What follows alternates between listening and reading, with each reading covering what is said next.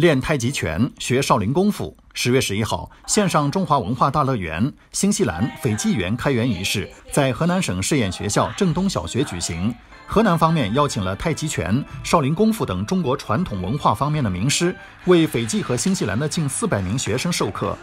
这次教授的内容是陈氏太极拳新架里边的十个基本动作小套路，有一定难度，但是简单易学。中华文化大乐园活动是中华海外联谊会海外华文教育系列重要品牌之一，旨在寓教于乐，推动中华文化在海外的传承。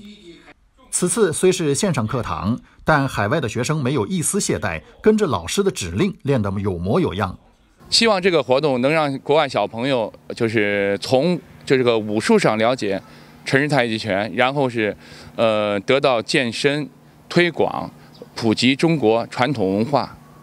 本次活动为期十天，斐济和新西兰的学生们通过线上可学到中国的太极拳、少林功夫、剪纸、国画、书法、古典舞等科目。少林寺方面则精心选派了有着多年在少林寺海外文化中心授课的少林寺武僧团国际部武术教头释延字进行授课。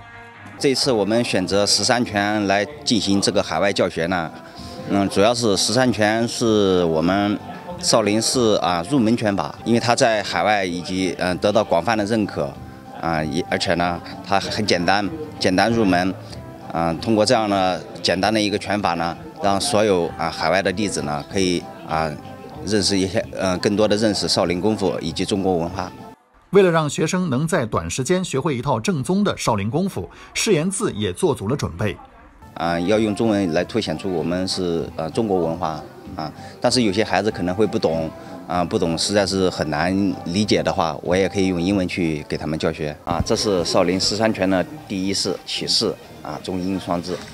这是第二式啊，弓步冲拳。啊，这是最后一式啊，收势。我们通过卡片的形式呢。让孩子们更清晰的啊学会少林功夫啊，学会少林拳法的第啊第一第一套拳法。我们通过视频的方式，让孩子们啊提交每天的学习进度以及他们的作业啊，从而啊通过这几天的教学，让他们完全的啊完整的学会这一套拳法。